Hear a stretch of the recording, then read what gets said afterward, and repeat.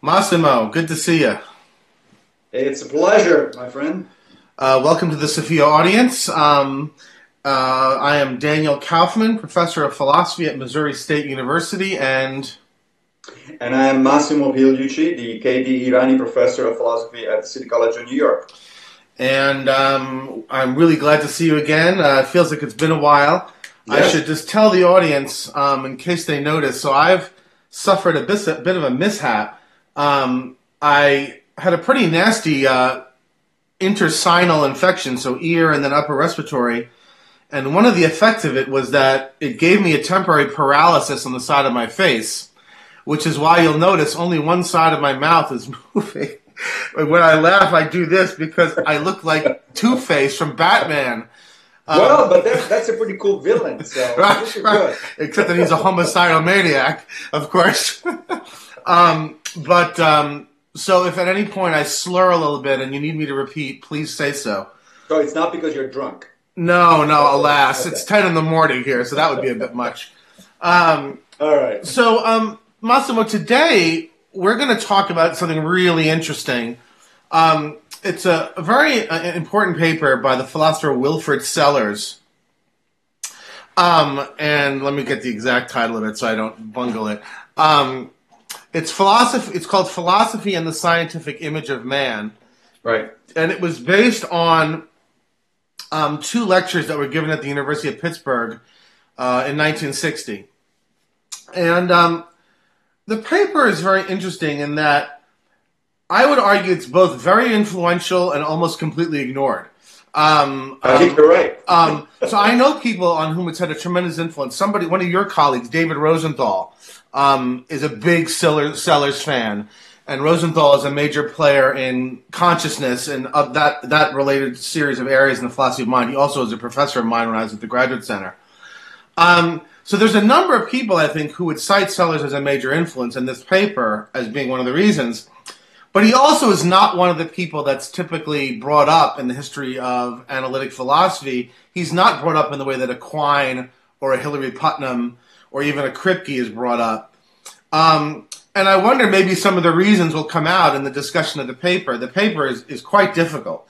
Yeah. Um, and yeah. Um, but I think I think Massimo, see if you agree with me, it provides a really remarkable framework within which to express a whole number of problems that I think um, is really useful. Yes. No, I completely agree. So I, I didn't study Sellars in graduate school, um, and uh, I actually came across the distinction between uh, scientific and, and uh, manifest image, of which we will talk about in a few minutes. Uh, I think reading Dan Dennett of all of all things. In fact, uh, I think we should go back to Dennett as well. Yeah. Um, and uh, and then I sort of eventually traced back the, the source, and, and when I read the paper, I said, "Holy crap, this is really good stuff." Um, and I think you're right. Everybody in the analytic tradition uh, and possibly beyond sort of recognizes Sellars' importance, but his name doesn't come up as a it hasn't become a household name. Although uh, reading rereading recently the entry about Sellars in the Stanford Encyclopedia of Philosophy uh, I agree with with the claim of the author there that actually there's been a revival of, of interest in Sellars' yeah. ideas and therefore hopefully uh, in, in you know his, his broader philosophy.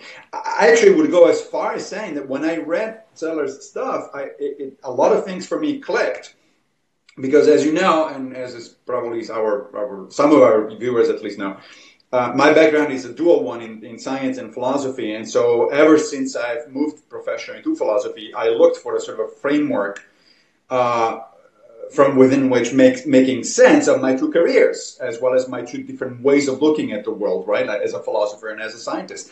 And I think that Sellars actually offers a pretty much perfect, uh, ready uh, made sort of framework. And I would go as far as saying that actually Sellars to me uh, make helps make sense of what the, the whole point of modern philosophy actually is. Hmm. And that may be going f- further than, than maybe even you want to want to go. But uh, I think there is something to be said there uh, on, on that behalf. And uh, of course, you know, no no no no individual thinker has the last word ever. So I'm sure there are certain things that that um, will need to revise and, uh, and, and improve upon. But I think that Sellars' contributions really ought to be taken seriously and be more widely known, which is why we're having this conversation to begin with. Yeah, I, I would say, I mean, tell me if you think this is maybe part of the reason that part of the reason for the revival of fortunes of Sellars and particularly this piece is because people have become increasingly frustrated with the seeming the seeming intractability of the reduction pro- the reduction program.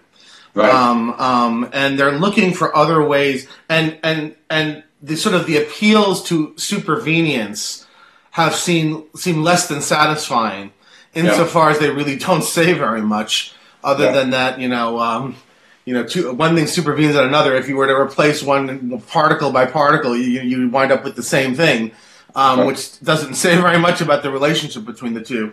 No, Um, in fact, it says very little, and, Yeah. and so that you're. I think you're right that one of the problems here is that on the one hand, again, as a scientist, you know, if you were to tell me, well, this conversation that we're having is made possible by the laws of physics, and it's it's it's really a bunch of atoms, you know, sort of swirling around and all that, I, I would say, yeah, sure, of course, but that tells me nothing about the conversation. It tells me nothing about you as a person, or Yeah. about me as a person, or as professional philosophers, or what we're talking about.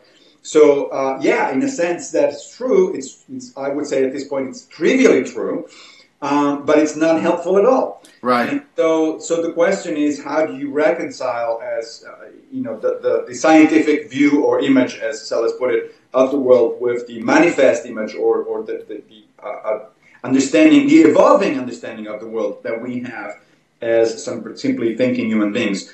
So perhaps we should sort of summarize. Yeah, go ahead. Why don't you go ahead and tell me how you see the difference? So the, the major distinction in this paper, and we'll and we'll link to the paper obviously, that Sellars makes is between what he calls the manifest image and the scientific image. Right. And maybe why don't you give your account of what you think it is, and if I agree entirely, I'll just nod, and if and if I think that something needs to be added, I'll say so afterwards.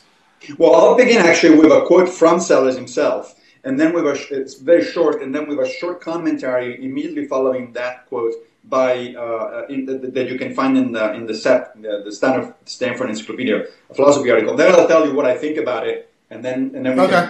can Sounds good. agree or not. So the quote from Seller is: "The aim of philosophy, abstractly formulated, is to understand how things in the broadest possible sense of the term hang together in the broadest possible sense of the term. Unquote. Uh, the commentary from the Therefore, philosophy. Wait a minute, you're freezing. I- hold on, hold on, hold on. You just froze. Oh, that's too bad. That's all right. Um, now you're back. Okay. Start, start the quoting. After hanging together, philosophy in the broadest sense is how things hang together. In the, okay. So the aim of philosophy, abstractly formulated, is to understand how things in the broadest possible sense of the term hang together in the broadest possible sense of the term. Unquote. Now the uh, Stanford article adds, um, therefore philosophy is a reflectively conducted higher order inquiry that is continuous with but distinguishable from any of the special disciplines, including therefore sciences, and the understanding it aims at must have practical force guiding our activities, both theoretical and practical. So I take this to mean that uh, what we what Sellars was aiming at, and what he thought the point of philosophy uh, in, mo- in modern philosophy is, is to develop sort of a stereoscopic vision where we can see simultaneously and, and sort of integrate in a, in a, in a in a good way, in a, in a, in a satisfactory way, uh, the scientific image and the manifest image. Which means that even though uh, Sellars was a naturalist, so he said explicitly that when it comes to understanding the natural world, you know, the world as it is, science is the only game in town. That's it. There- There's nothing else that can possibly replace it. But that does not mean that one can do a useful reduction or elimination of concepts such as normativity, uh, you know, meaning, and things like that. Those concepts uh, have to stay, not in the sense that they are some in some kind of mystical, you know, hanging around above and beyond science or you know whatever uh, uh, sort of people sometimes seem to think, but just in the sense that they are irreducible to scientific discourse. Period. We cannot do without them. We, we simply cannot, and we should not try to do without them. Uh, and the way to um, to proceed in our understanding of the world is to keep these two uh, views in in sight, and therefore, I would say uh, the aim or a major aim of philosophy is to see how these two things hang in together. You know, how is it that every new discovery of science, what kind of, in, of import does it have on, on our manifest image? Because the manifest image does change over time. You know, we don't have the same manifest image uh, the, today in the 21st century than people had, you know, a thousand years ago or two thousand years ago. That's right. Sure. That's right. Uh, but at the same time, you know, we're human beings. We're limited in understanding. We want to understand things, and so to, the idea that we can eliminate somehow talk of meaning and purpose and uh, normativity and all that sort of stuff in favors of talk of atoms and, and neural fibers uh, and things like that is just nonsense. And I, I, I, think I, I think that's what Sellars is saying, and on that I'm completely on board. What, what's your take? Yeah, so so um, we probably, in order to do this um, well, is need to sort of give the definition of each uh, for him. Sure.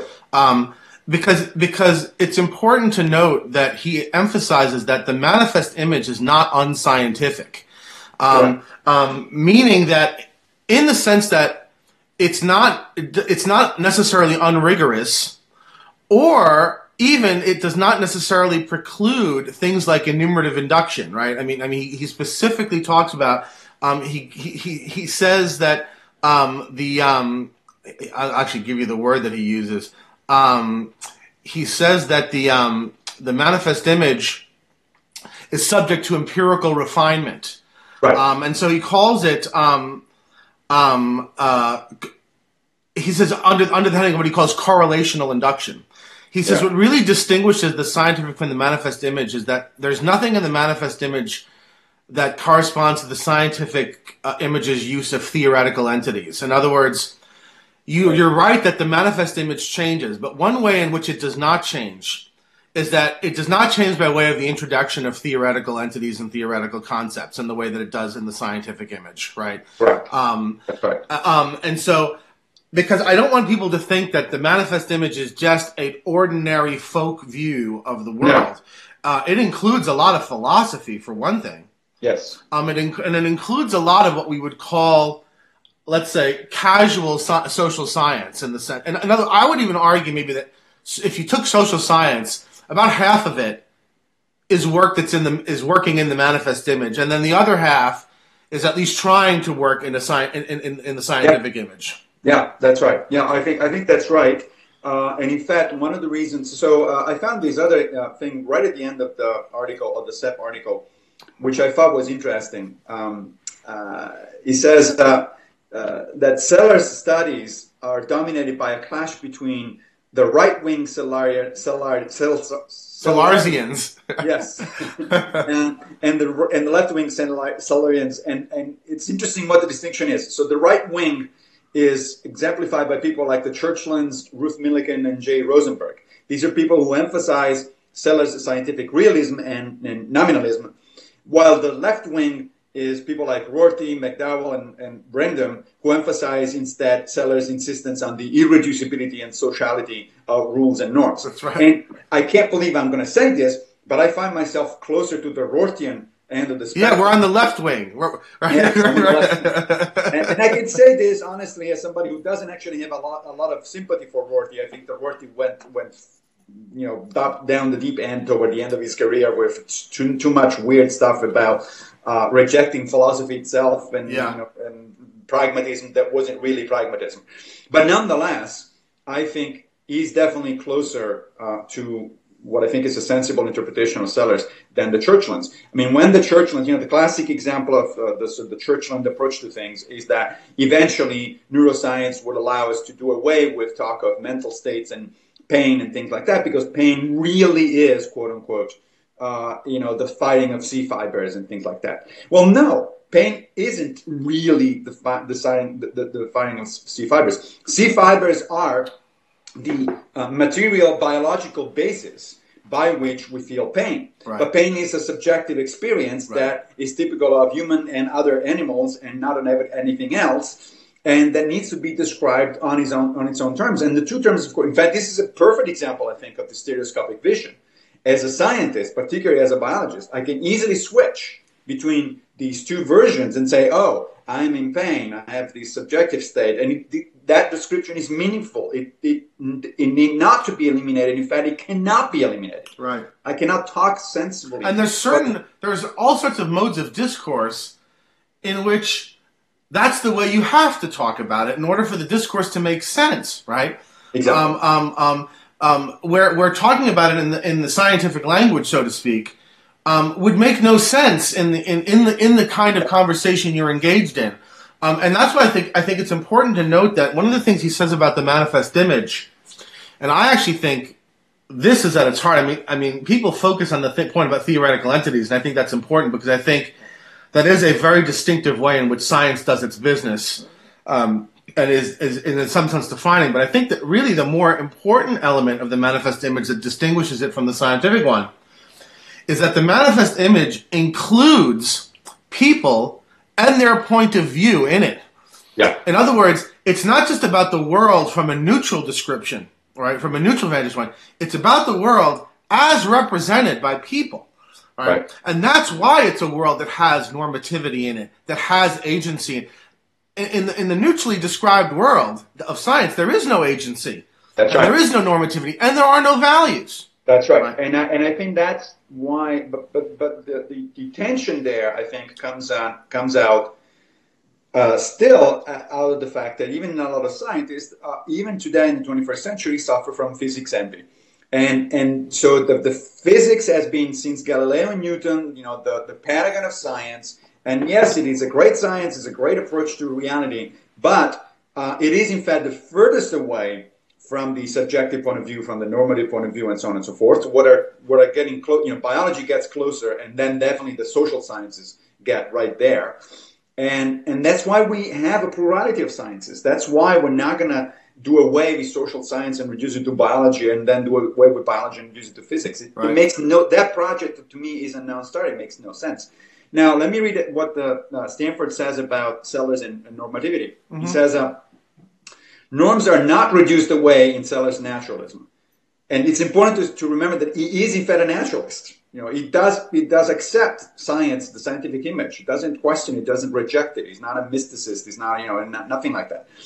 He accommodates normativity not as a basic, ontologically independent feature of the world, but rather as a conceptually irreducible, indispensable aspect of distinctively human activity um, that is and that grounds those human activities. So that I think is a very reasonable way of looking at things. I agree.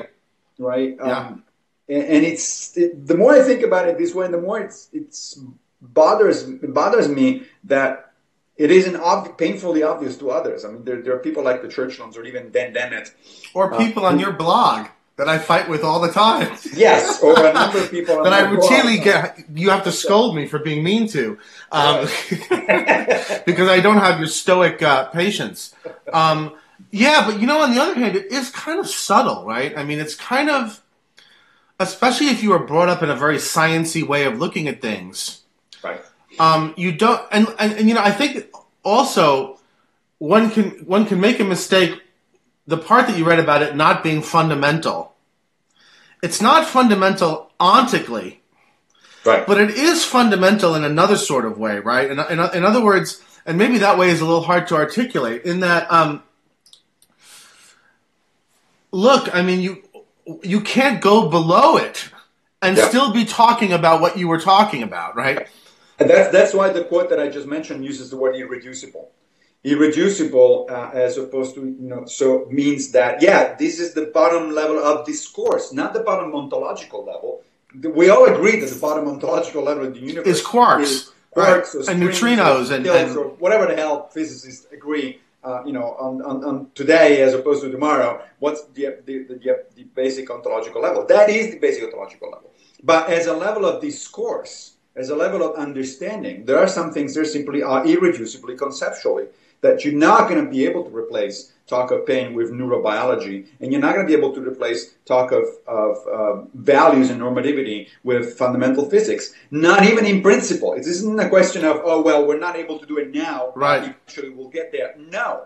There's, It makes no sense to even think about the fact that you could possibly do something. like Yeah, yeah, and, and that's because I mean I would argue that that's because all of these notions are only intelligible um, when one when one looks at the world from the point of view of agents, right? Right. Um, um, um, and and so and so because you can't talk about social reality, let's call it that, okay, which Yeah. includes agents and agency and thus norms and and values.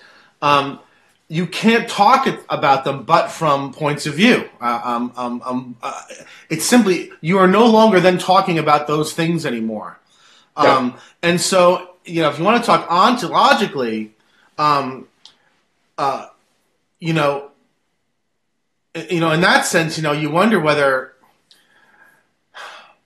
there are elements of sort of social reality that are not ontologically reducible beyond a certain point as types, right? I mean, once you get once you get below the certain point, all you can do is is is is, is give a, a, a, a let's say an atomistic account of.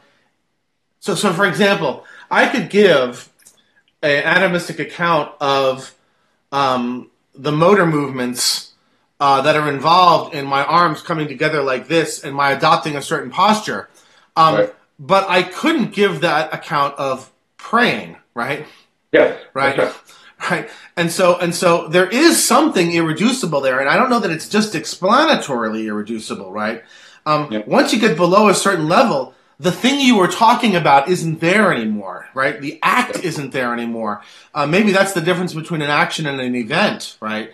Um, Perhaps right. Yeah, I, I I hear what you're saying. I, I, I the reason I don't want to go as far as saying that you know there's sort of an ontological uh, impossibility to, to reduction or an ontological limit of, redu- of reduction is because then you then you need to actually articulate very carefully what what do you mean by ontological, right? So are you talking about entities? Are you talking about uh, you know what is it that, that that that's going on there? And I don't think we need to.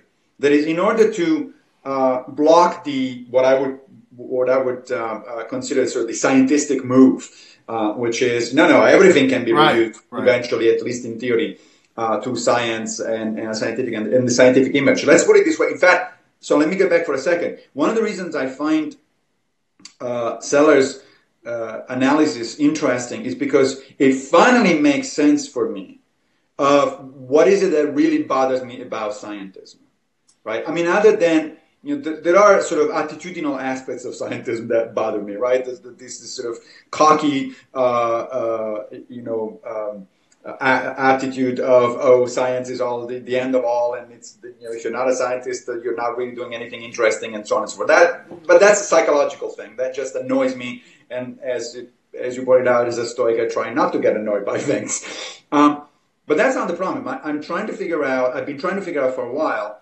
Uh, what it, what exactly is it conceptually that bothers me about about scientism? And I think Sellars provides the answer there. That is, uh, what science scientism is trying to do, or one way to understand scientism is as the uh, program that eliminates the manifest image in favor of the scientific image. Uh, right. So that's that's one way to I think that very constructive way actually to understand what scientism is, and I can point out to people that actually really do want to do that. an effort to replace to re- replace in other words to to eliminate the manifest image and just have the scientific image right Correct. And there are people who are on board clearly with that program, at least in philosophy. Uh, people like the Churchlands that we already mentioned. Jay uh, Alex Rosenberg. Bro- Alex yeah, Ro- Alex Rosenberg, yeah, yeah. Uh, I think Dan Dennett at this point, especially after his latest thing that we might want to talk about. that consciousness is an illusion Right, the, the consciousness as illusion kind of thing. Um, so all those people are philosophers that are, seem to be on board at this point with that kind of program. And of course, it's not difficult to find, uh, you know, physicists like Lawrence Krauss and uh, uh, and uh, and sort of associates Yeah. that are the same the same board. So and and I think, however, that Sellars finally made it clear to me what is it other than the psychological aspect that bothers me about this thing that I think there are very good reasons, and some of, several of which are spelled out by Sellars himself, for why that program is nonsensical. It's, just, it's not going to happen. This is Yeah. not what you want. You don't want to have that sort of thing. It's not possible to have. You, you brought up the, the idea of sort of joining hands in, in prayer, and you know, so, sort of that you that if you look at it from a uh, sort of uh, independent, uh, sort of objective perspective, you cannot make sense of what's going on. I would say that goes for most human activities, right? Yes, all action. I would actually say that that's what distinguishes an action from a mere event. That an action is something that can be understood from a person's point of view, right? That makes sense from a point of view. Right. Um, so I can give yeah. a description yeah. of every action that I do during a that I take during a particular day, right? Uh, and from an entirely physical perspective or biological perspective, if you will, or both, right? And those are, you know, sort of third person independent, you know, view yeah. from above kind of thing, you know, non subjective, basically, uh, descriptions. The problem is, those descriptions, once, once that I reinterpret my actions during a day in terms of physics, then those actions are no different at all from anything else that's going on in the universe from the planet Earth rotating around the sun, from a rock falling down a, a, That's a right. cliff, from an animal doing something or a plant doing something. There's no difference. Right. Now, if the scientific image is incapable of recovering the difference between me and a rock, then I'd say it's a problem. Yeah. And more substantially, it's a problem because all the elements of significance and meaning and value that attach to the action attach to it insofar as it is an action, not insofar as it is right. Um, you know what makes something an act of aggression. Yeah. Is the fact that it involves me representing you a certain way, right? Yeah, it's not right. that it involves uh, atoms colliding in, in, various in various fashions. Um, right. And you could have two, uh, two, two, two things that are identical in terms of the underlying events, but yeah. one of which is an act of aggression and one which is not, right? Um, and and unless people want to say none of that matters, right? Right. Uh, and I don't think that they do. I mean, I mean that's that's the thing that bothers me the most is that these maybe, aren't these aren't actually. people these aren't anarchists who want to get rid of law and morality and and and all of these sorts oh, of things. No. They think that they're just going to be able to have it all. I mean, this is Harris, right? Yeah. This sort right. of glib. I can just get rid of all of these things, but I still can keep civilization. Yeah, right. No, that's right. So they don't. Uh, they wanted. They seem to be one wanting to get rid of of the uh, manifest image.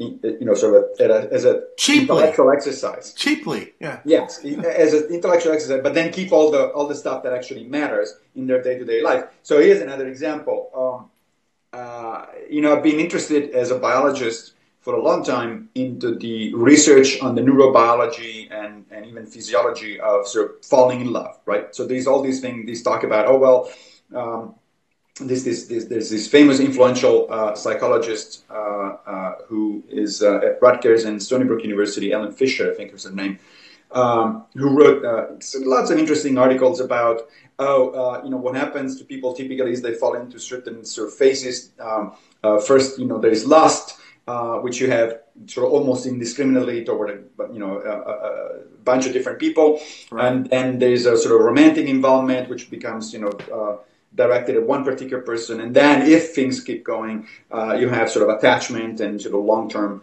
uh, relationships and all that sort of stuff. And those phases are marked by different prof- hormonal profiles.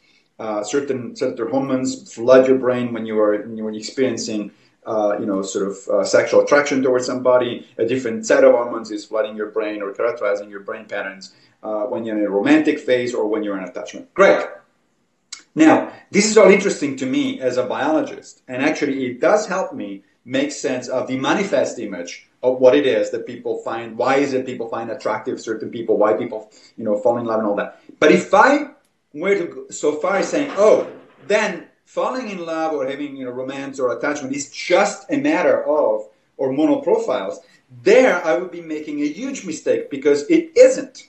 It is underpinned in part physiologically by those hormonal profiles. But if I take out, if I strip out the social context, the fact that there are social expectations about how to behave with other people, and the fact that there are values that are involved in falling in love or not falling in love with a person, the fact that this uh, adds or subtract meaning from your life, and all that, all of that is entirely missing from a, a neurophysiological under you know study of right. what happens when people fall in love. That does not mean that the science is somehow irrelevant. Of course, it's relevant. I like to know uh, you know that part of the story. Uh, but that part of the story is not the full story, and if I think that it is the full story, then I'm missing actually the more important part. Yeah. Because, you know, all you're saying, after all, at the end of the day, all that Ellen Fisher and others are saying is that, look, when people have certain emotions, those emotions are underpinned by some kind of brain function, you know, brain machinery. Well, no kidding. Yeah. If I had no brain, I wouldn't have emotions to begin Right. with. Right. Right. So that's Right, that's that's a consequence of us being embodied, right? I mean, I mean, Exactly. I mean, I mean, again, that's that's a consequence of the fact that actions involve events, right? Um, Right. um, um, and that love involves physical interaction between people. But How, how else would it go? what right? makes it love is the way those people represent those physical actions, Exactly. those physical events, and what the significance of those representations are. Um, which is why, although I do, I mean, you're right, of course, that the biological things do tell you something about the manifest thing. Yes. I would say that that the reasons the person tells you tell you a lot more, right? Yes. About agree. the love, about the love, not about the underlying Correct. physi- physiology, um, Correct. but about the love itself. Uh, you know, the the person, what the person tells you, the reasons why he loves this person, I think, tell you a lot more than than than, than the hormonal account. Um, yeah, I would agree. The, the, so- the, the, the way in which we talk and explain what happens to uh, to our own subjective selves under those conditions uh, is much more informative Yeah. uh, than than the underlying physiology. As much as I said, as I find interesting the studies about. Oh, I think it's fascinating, and actually, it just makes me amazed at just how bizarrely compli- complicated the biological world is. Right? I mean, I mean, um, um, I, I don't want to say it. It almost always seems to me a little Rube Goldberg like, but but but yeah. I don't know. I don't know. I mean, you, you're the scientist. Is is biology actually efficient? Oh, that's a good question. Maybe we, we Because should go. because because whenever people give me arguments from Design for God, I said the thing looks like a fucking Rube Goldberg to me. that's right. I right. agree. And actually, I think a lot of biologists have come to see natural selection. I mean, this is, this is sort of a side uh, topic here, but but uh, a lot of biologists come to have come to see natural selection not as an optimizing process, but as what they call what they call a satisfying problem process. That it's is- good enough. Sort of. Yeah, like- it's good enough, and it works on. Uh, there's this famous paper that came out of, uh, uh, decades ago now uh, that uh, was uh, presenting natural selection as a tinkerer, as something that as a process that takes whatever materials are about around in the in the garage and puts them together in some kind of creative Which way. would give you a Rube Goldberg in a lot Exactly. of a lot of times. Yeah, Exactly. yeah. Well, we could do another one on that. We could do another one on that. That's a good Yes, one. absolutely. Going back to Sellars, uh, here's another quote that I want to um, present to our to our listeners and, and take and get your take on it. This is again from the Stanford um, um, treatment of, of the topic, which is very good as as usual, as often is the case. So he says. Sellars' treatment of mentalistic concepts has also inspired eliminativist philosophies of mind, such as those espoused by the Churchlands. The idea uh, of those of, of that approach is that if folk psychology is like a theory, then like any theory, it could be superseded and replaced by a better theory as scientific psychology and neuroscience progresses. But Seller himself Says it's not a scientific theory. Exactly. Uh, Seller himself, crucially, was unmoved by this idea because the concept of folk psychology, and therefore the manifest image, are not focused solely or even maybe principally on the description and explanation of phenomena. The language of agency, to which we will shortly return in the article, is indispensable and cannot be replaced by the language of any scientific theory. So, folk psychology, that's something that when I studied the Churchlands in graduate school, I thought that's odd to consider folk psychology a, a similar or equivalent to a scientific. It's clearly not.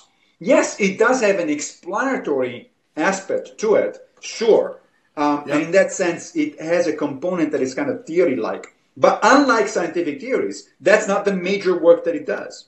The No. major work is in terms of meaning and, Right. and, It- and it isn't. Yeah. No. normativity and so on and so forth. you know, to be fair to the Churchlands, though, this is something that folk, psycholo- folk psychology enthusiasts have partly brought on themselves because Yeah. pe- people like Fodor Yes. have that's right. tried to take intentional psychology and claim that it is causal explanatory in the manner of a the- of its matter of a theory. And so then, of course, it's not a surprise that you know people who are even more science fetishistic than Fodor is are going to come along and say, "Well, but you know," and point out to all these flaws. Um, but Yeah. look, I mean, this gets to an even deeper argument that's been going on that's sort of been swaying back and forth. You know, prior to the 1960s, reasons. So when, when I mean by reasons, I mean when we give when somebody gives a reason for an action, right? Yes. Or a reason for a belief, were not typically understood as causes, right? Right. Because the influence then was Wittgenstein. Yes. Um, right. it was Davidson who, in his very influential papers on action, argued that reasons are causes, Yeah. and that then led us into this into this period that we're in now, um, in which reasons are taken as causes. Now, if reasons are causes, then the explanations that we give of actions when we cite reasons have to be taken as quasi scientific explanations. Now, in my opinion, as I wrote in this essay that you very kindly linked to in your on your blog, in my opinion, that just lands you right in the free will problem, and, Yep. you're, and you're not going to get out of it. Yep. Um, Yep. um, and I think that it's a mistake to go that in the, there to begin with.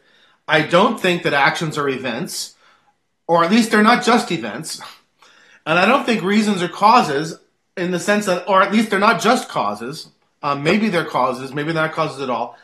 Um, but once you once you do, I, I don't see I don't see how you get out of it. Um, and you know, Sellars something that Sellars warns against in the paper and you you used the word stereo, stereoscopic now several times, and that's crucial to him. He says what you must never do is try to piecemeal introduce concepts from the scientific image into the manifest image. You can you can hold them up as two wholes. Here are two ways of looking at the world, and ask yourself what is the relationship between the two. Right. What you can't do is start bring, and I think that maybe seventy percent of contemporary analytic philosophy is piecemeal importing of little pieces of the scientific image. So bringing the notion from classical mechanics of a cause into psychological explanations, in the sense of giving a reason for something you did, yeah. is exactly Well, that sort of move, and it gets you nothing but trouble. I, I agree. I think that was the crucial mistake that, as you say, uh, is still reverberating in analytical philosophy, and that it's leading to a lot of things that are to use. Weird. uh, yeah, and, and use actually Dennett's own uh, uh, sort of classification of these kind of things. It's it's playing mess instead of chess. yeah, yeah. it's it's a lot of very very clever arguments because you know this, the, the, the the Churchlands and a bunch of the other people that we mentioned these are really seriously serious philosophers you know very clever and all that sort of stuff except that all most of what they're saying is irrelevant because they start out with the wrong move they, Right. they made a wrong turn and so all of that stuff it's playing schmess which is this uh, game according to uh, Dennett that is just like chess except for one rule difference and Yeah. nobody plays it except Right. for a few people Except for those people, right, right, Yeah, right. exactly. And that's why you know, no. Look, nobody really doesn't believe that people have agency. Yeah, exactly. Um, it, that's evident from the way we speak and behave towards each other. Um, but I, th- but I think that it's not just a few philosophers that are doing it now and scientists. There is a danger um, because we are increasingly. I don't know if you if you agree with this, but we are increasingly more and more trying to medicalize behavior yeah, in a way that seems to me at least could run the risk of inducing a culture wide loss of belief in genuine agency. Now, I don't know if you think that that's true. no, I actually am worried about that as well. That's one of the consequences of the scientific confusion of the of the of the scientific versus the the manifest image. I mean. Just, just the, the typical example is all of these articles, which fortunately I think have begun to subs, subside a little bit. But there was a period of several years during which you know you couldn't open a magazine or a newspaper or, or a website without looking at a neural scan of a brain and, and with a title like "Your Brain on Whatever," right? Right. Uh, moral thinking and all that sort of stuff. And there was a lot of pushing. There's been a lot of pushing until until then. Later on, a little bit of pushback started Yeah. you know, there's a couple of books out there now on, on what they're called neuromyths. Uh, that is, um, in fact, to be fair, a number of neuroscientists themselves have begun to push back. Are starting to push back against this, Yeah, yeah. And, and rightly so. The scientists will have to, or else it'll never get pushed back on. I mean, uh, because nobody's right. going to listen to the philosophers who are pushing back.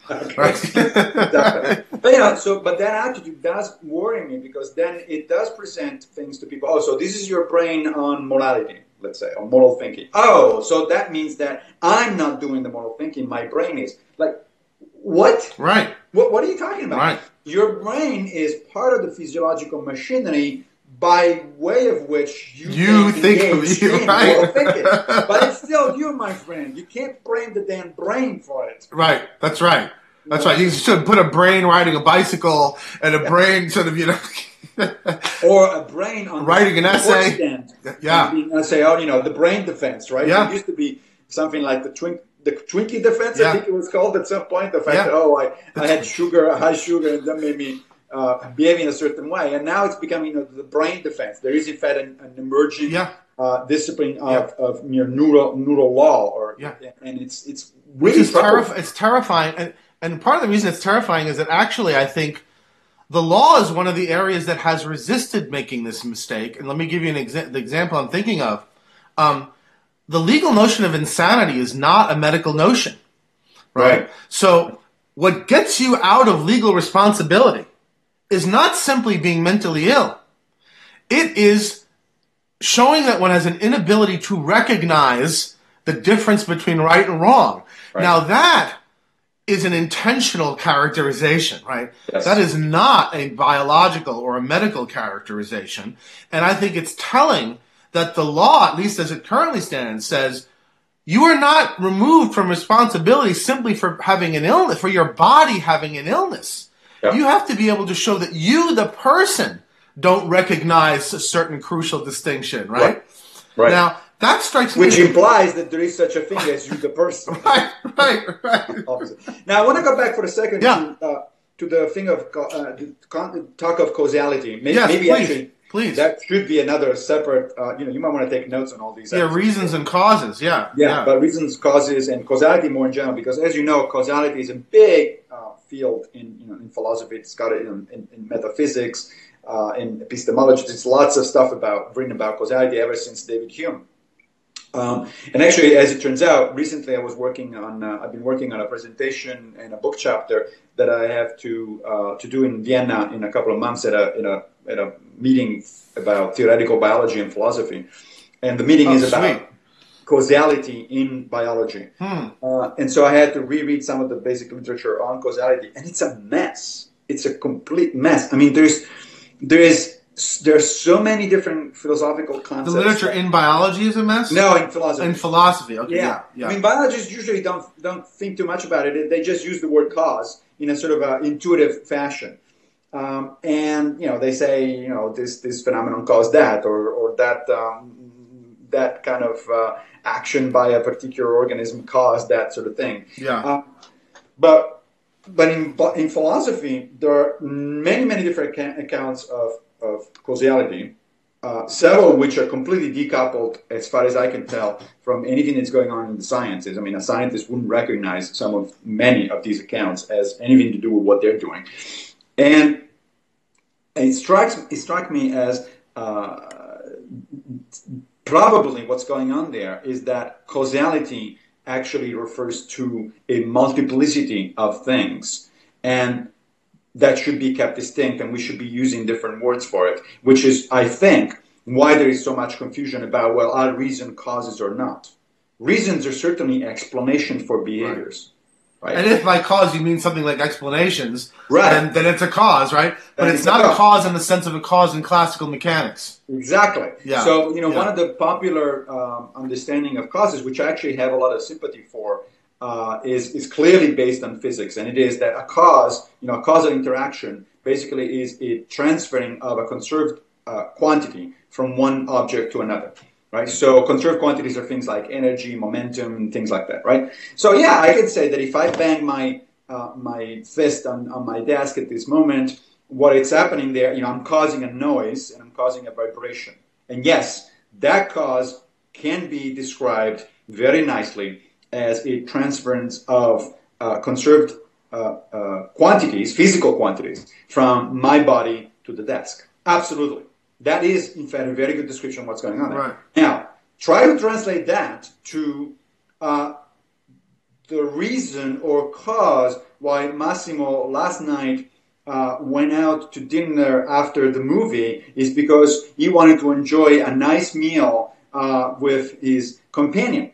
No, that's if No. you start thinking in terms of of conserved quantities that somehow changed. It's like, no, that's a no-starter. What Right. the hell are you talking about? Right. But now, does that mean that my my behavior then was uncaused? That that you know that had no reasons for doing what I did? Of course I did. But those reasons are actually not describable in terms of causality understood in that particular physicalist way. That's not to say, of course, there was something non-physical going on there. Right. As you know, I'm a Right. materialist. I don't believe in non-physical. And stuff. even though a lot of the underlying motor movements involved were caused in precisely the way that you're talking about, but the act of going to the dinner was not caused in that way. Correct. And unless you want to say there are no acts of going to dinner, right, which, which you almost wonder whether, right, it's an illusion, right? I mean, I, you can't even believe people say these things as they're doing things, yeah. right? I mean, Which brings us to Dennett. Come on, we should talk about Dennett. So, so here's the thing that struck me. I want to, I want to hear. This is this recent book that Dennett wrote that's just Right. been reviewed by Thomas Nagel in the New York Review of Books, Right. which we will link to. I don't think it's behind a paywall, so we'll link to it. No, not anymore. Yeah, yeah, yeah. And when it came out, but not anymore. So you know, Nagel and Dennett. Let me let me step back for a second here. Nagel and Dennett are two interesting characters as far as I personally am concerned. Uh, uh, I actually think they're both very very interesting philosophers. I think they're seriously mistaken for different reasons. I mean, when I when I uh, read uh, Nagel's latest Nagel's own latest book, um, which I, I forgot the title. It was of Mind and Cosmos. yeah, that's Yeah, right. yeah. Which which You we just- can link you- to yeah. as well. Um, you know, that one also struck me as seriously misguiding in sort of the opposite way in which Dennett. Yeah. Did you do a review of that? Was that? Did you No, do I re- didn't review it formally. I think I wrote something about it in a, in a blog post. Okay. Um, but in fact, I think actually one good good um, way of understanding that the discrepancy and differences and the opposition between Dennett and Nagel is that to some extent, and I don't want to oversimplify uh, what they're doing, but to some extent, I think Nagel is too far on the wedded to the to the uh, manifest image and too skeptical of the scientific one. And and Dennett is exactly the opposite. He's, he's going full full reductionist at this point on the scientific uh, image and, and sort of ignoring uh, or dismissing as an illusion uh, much of the manifest image. But so um, what Dennett was doing in this latest book uh, is you know sort of articulating uh, his idea that consciousness is quote unquote an illusion. Now. Uh, what the hell does he mean by that? Uh, so, so some of the commenters already on the blog, the blog post, um, uh, my uh, footnotes. To, You're already came out this annoyed. You're already annoyed, and it's only the first day, which is what That's I right. find so funny. it's it just came out today, and it wasn't even a post, as you know, it was just a, a series of links to articles that are interested to read for a weekend, and yet that generated a, a lot of comments already. Um, some of those comments are on the lines of, well, let's see what, what does it mean to have an illusion. So an illusion, broadly speaking, can be simply a misperception of what's going on, right? Um, well, that's not, I think, that is not what Dennett means. no, Because that's it- not interesting at all. it's not interesting at all because at that level, everything pretty much becomes an illusion. You know, so right now, for instance, I'm looking at you through a computer screen, through a screen of my, my iPad. But in fact, of course, all of this is an illusion. It's all electrons that are put together in a particular way by the underlying mechanism of the of the iPad, right? So, so it, I'm looking at an illusion in a in a broad sense of the term. But that's not helpful at all. Nobody would be, uh, you know, uh, first you don't get any explanatory insight when you say that Right. I'm looking at an illusion right now. And second of all, nobody would disagree. Yes, of course, in that sense, it is an illusion, but it's not useful. What Dennett actually says uh, comes out by by way of one of these analogies. He says that consciousness is uh, a lot like the those little uh, icons of folders that you have on a desktop computer right? So those folders. So you look at if you, if you if you're a user of a computer, you have these folders um, is uh, on the on your desktop, and you click on them, and they open just as if they were folders. And then inside, quote unquote, there's stuff that you can look at and transfer, copy, and so on and so forth, right? But of course, that really is an illusion. There's nothing like a folder. There is no inside. There's no, There's no inside. It's not an actual container, right? Right. It's- It's not a container. There's nothing inside, uh, and and therefore that really qualifies as an illusion. Right. It's a useful illusion because it's, it's something that allows me to move uh, things uh, and to operate with things on my computer. But that really is, in fact, an illusion. But to say that consciousness is like that, Uh, to quote uh, a famous uh, phrase by uh, John Searle, uh, he of the Chinese room, Yeah. uh, is like that's denying the data. The Yeah. data there is that, of course, there's consciousness. I am conscious right now. That's what I we're know. trying to explain. Right. Right. That's, that's what you need to explain, right? You say that that's an illusion because you know really what it is is some kind of neural machinery at the bottom, you're not saying anything. You're really not telling me anything that I don't know. Yes, of course there is some. You're just dodging the. You're, you're just saying I refuse to explain it. Is what you're really saying. Right. Right. You're saying, well, uh, I understand that there is a neural machinery at the bottom that, that makes consciousness possible. The question is, how does that work? Uh, and you don't say, you don't explain how it works by telling me that, no, really, this is not happening. Similarly, of course, we talked earlier about the, the Churchland's approach to pain in terms of C fibers, right? Telling me that pain is really the C fibers of my neurons, you know, firing. It's not making pain go away. It's Right. not that the pain is an illusion. I have an undeniable, irreducible experience of pain Right. under certain circumstances.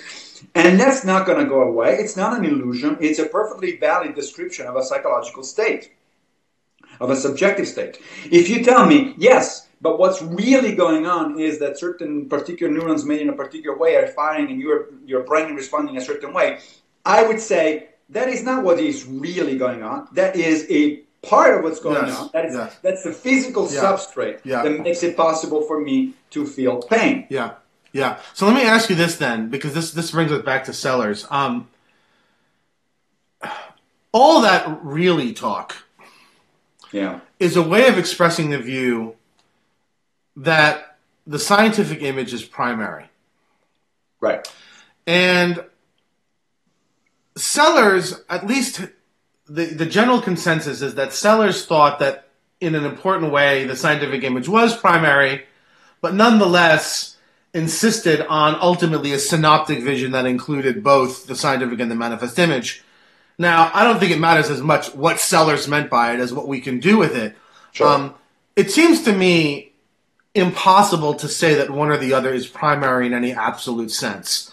It seems to me that the only what the only sense you can make of anything being primary is relative to a set of interests or relative to a frame of reference. Yes. Are you of that view also, or do you think there is a way in which the scientific image is properly primary? No, I don't think there is. Uh, and I think that actually Sellars, from what I understand, I mean, I'm not a Sellars scholar, of course, but, but from what I, my understanding is that Sellars wouldn't say that a scientific image is primary in an absolute sense.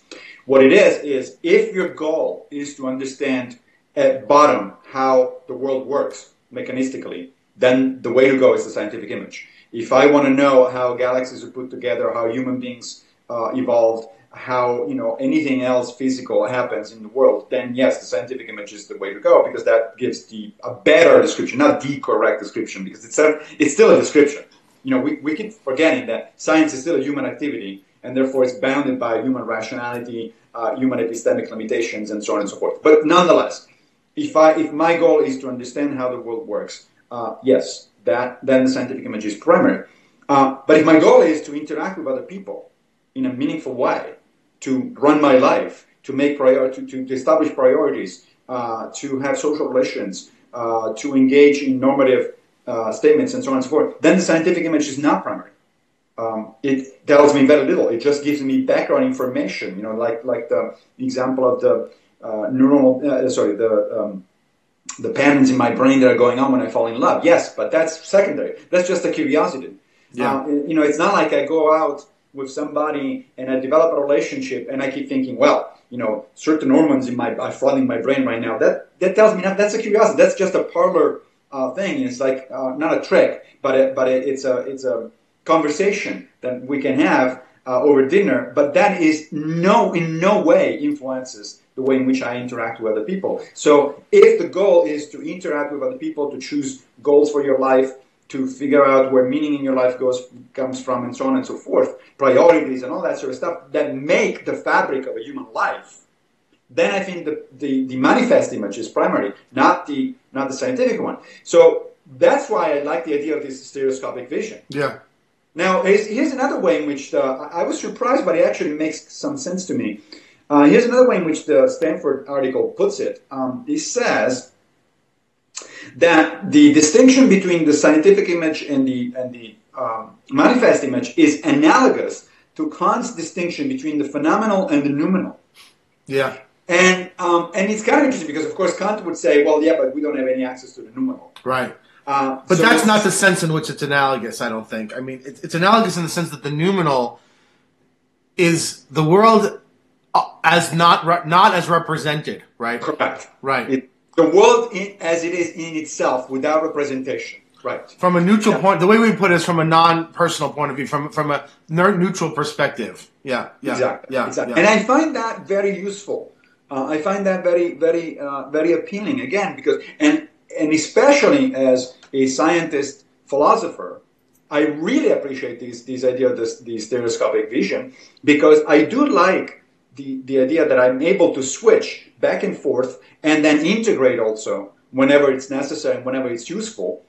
Uh, the, the two images because as we were saying earlier sometimes the scientific image does in fact influence the manifest image. I mean, we change our uh, view of the world in part as a result of major insights uh, from science, right? I mean, once that science, for instance, demonstrated uh, that the universe is much, much larger than we thought. You know, let's people don't, people forget that galaxies were not discovered until the early part of the uh, 20th century. Which is amazing. You realize how how recent Right. most of our understanding is, right? I mean, I mean, yeah. Right. Now, but once So we thought there was just one galaxy.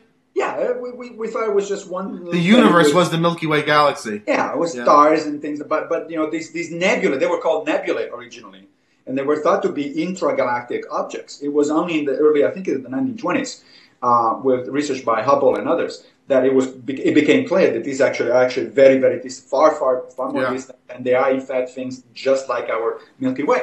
Now that seems to me did change or should change my manifest image.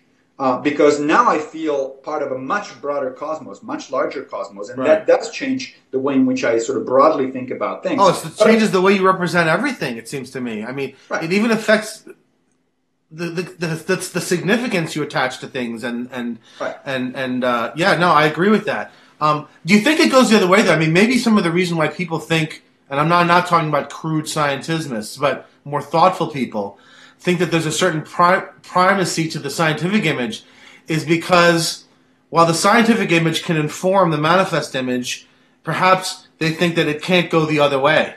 Then the manifest image does not ever inform the scientific image. Now, what do you think of that? I mean, do you think the manifest image ever informs the scientific image? Uh, that's a good question. Uh, I'm not sure that the that the manifest image informs the scientific image as much as it puts constraints on it. And I agree actually- with that. right. I Yes. think actually you can find that into in, in, in Sellars. Um, Yeah, he says he says, look, without a manifest image, there would be no scientific image. So, in a sense, Right. genealogically and methodologically, the scientific image is dependent upon the manifest. Um, right. But it purports to give an independent account of all of reality, um, at least all of reality from no perspective, so to speak. Um, And, um, and here's one way yeah. this happens. So Yeah. let's so let's take uh, let, let me give you one example. Let's take quantum mechanics, which is you know the quintessential you know uh, uh, example of scientific image of the world. Right, the quantum world is so weird and all that. In fact, it is very weird, uh, but we have trouble, and because of that weirdness, we have trouble uh, understanding it uh, beyond sort of the calculation. Right, so there's there's a whole there's a whole uh, um, school of thought in, in fundamental physics that sort of eschews any interpretation of quantum mechanics. And it's referred to often jokingly as the shut up and calculate school, right? That, that, you know, quantum mechanics is a mathematical theory and all you need to do with it is to plug in the numbers and it gives you very precise, uh, you know. but that these interpretations are, in a sense, fantasies. Right, the interpretations are metaphysics. Yeah. They're unnecessary and they're certainly. That seems kind of credible, don't you think? What was that? That seems credible, don't you think? It is credible. Now, the problem is that a lot of scientists just are not happy with that. Why are they not happy with that? Because they want to understand the world, not just to describe it. Right? Science isn't just in the business of making predictions, let's say experimental Yeah. predictions. Because if that were the case, then we could just all do statistics. You know, with no understanding of underlying causality, no understanding of. So it's know, almost like they want they want to bring it into the manifest image. They want to be able to understand. it. They want to be able to represent it. exactly. Yeah. Which is why we get all these discussions about you know metaphors to understand many worlds and yeah, worlds, yeah, or yeah. even more simply, oh, light is both a particle and a wave.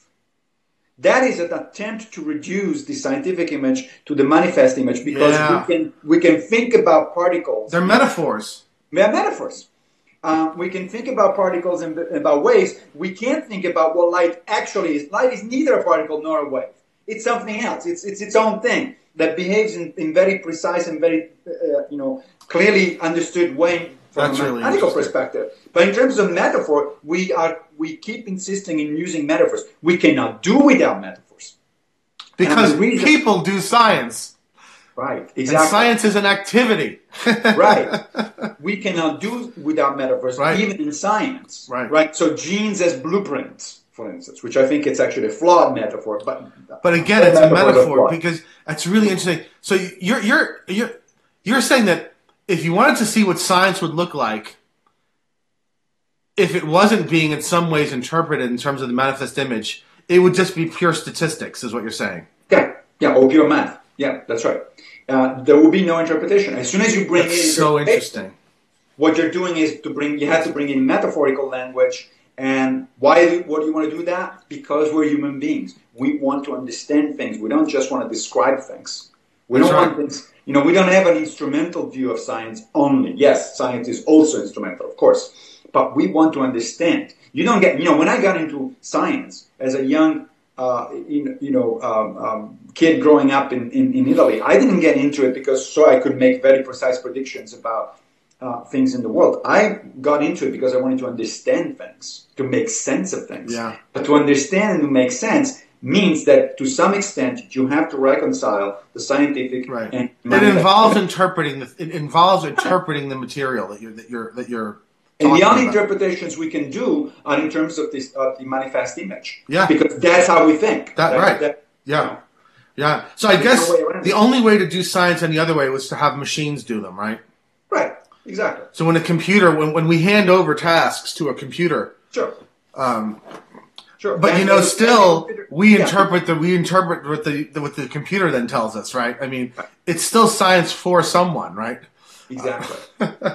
and I think, therefore, that stuff. it is true that I think it's fair to say that the scientific image constantly influences and hopefully updates the manifest image. I don't think the manifest image does the same, but what the manifest image does is it constrains the way in which we make sense of the scientific image. Yeah, it, it, it, does it in a different way. I mean, they both affect each other. I mean, the, the scientific image actually con- contributes information.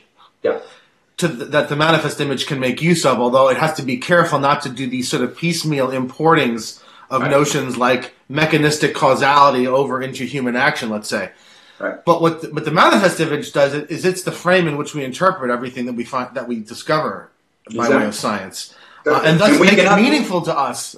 Yes, exactly. And we cannot do without it because we're human beings, uh, and human beings uh, want to understand things and and put a meaning to it. yeah, yeah. Meaning, understanding, values, all those stuff. Those are part. Those are those Yeah. are within the manifest image, not the scientific image. Yeah. They don't enter into the scientific. Yeah. It's interesting. I realize now, and I don't know whether even you realized it because you say it so often. If you realize that it, that this was the point, the, and that is, I can't say how many times I've heard you say to people that science is a human activity, Right.